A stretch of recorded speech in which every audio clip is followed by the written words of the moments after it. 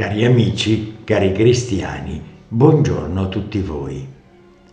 Dopo aver sospeso per via del sabato e della domenica la lettura del discorso della montagna, oggi riprendiamo.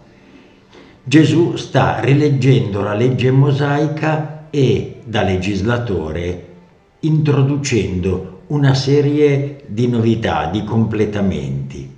Rilegge oggi la legge che aveva dato Mosè sull'adulterio. Quale sarà il cambiamento che egli introduce? Proviamo ad ascoltare. Lettura del Vangelo secondo Matteo. In quel tempo il Signore Gesù diceva ai suoi discepoli, Avete inteso che fu detto non commetterai adulterio, ma io vi dico, chiunque guarda una donna per desiderarla, ha già commesso adulterio con lei nel proprio cuore.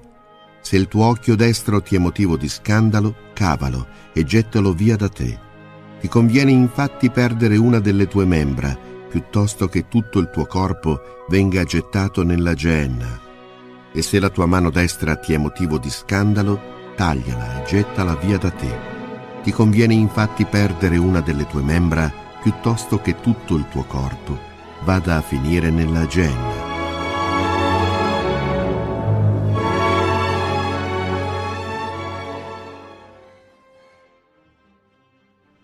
All'apparenza sembra che il cambiamento introdotto da Gesù sia che egli condanna le fantasie contro la castità. In realtà egli sta dicendo una cosa più importante.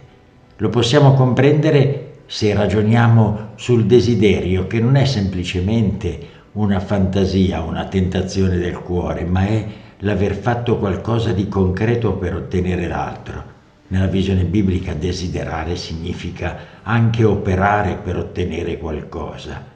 E dall'altra parte quello che Gesù vuole suggerirci è che noi dobbiamo ritornare al cuore, all'intimità nostra, perché è da lì che nascono le azioni cattive. Se noi siamo capaci di leggere, di interpretare, di comprendere che cosa accade nel profondo del nostro cuore, delle nostre intenzioni, lì noi riusciamo a comprendere che cosa Gesù vuole dirci. Egli intende dirci che dobbiamo fare pulizia dei nostri desideri di potere, che dobbiamo ricominciare a leggere la, l'amore come dono, non come percorso di possesso.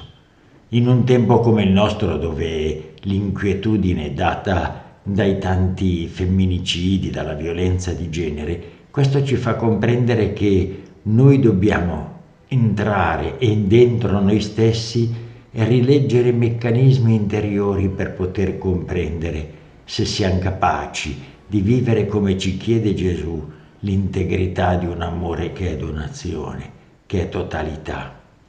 Buona giornata a tutti voi carissimi.